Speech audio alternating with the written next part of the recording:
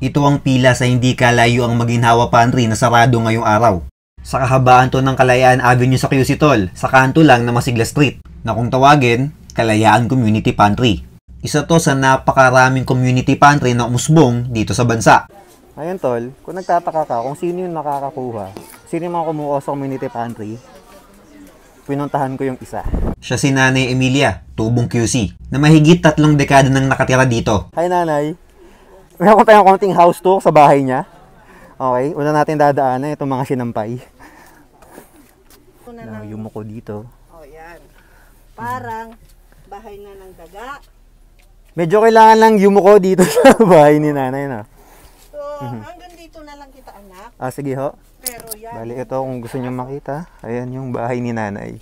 Isa sa benepisyaryo ng community pantry na umuusbong ngayon sa buong bansa. At sabi nga ni Nanay, naging sagot sa kalam ng tiyan ng pag-usbong nito. sa maghapon, busog ang tiyan namin.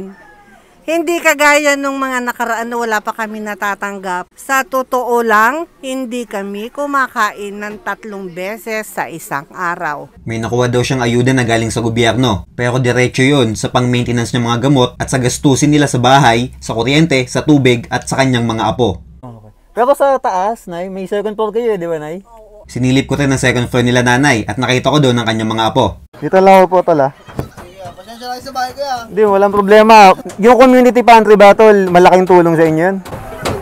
Oo, sobra. Sa hirap natin ng ano, buhay natin, nakakain pa rin tayo, may mga tumutulong. Tol, sa, sa tingin mo ba, anong mangyayari pagka biglang tinigil itong mga community pantry na to?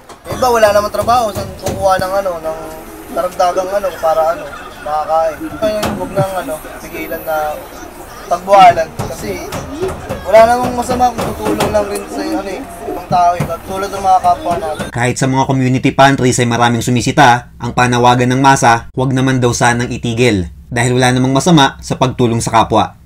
Benjo Gutierrez po, hatid ang mukha ng balita.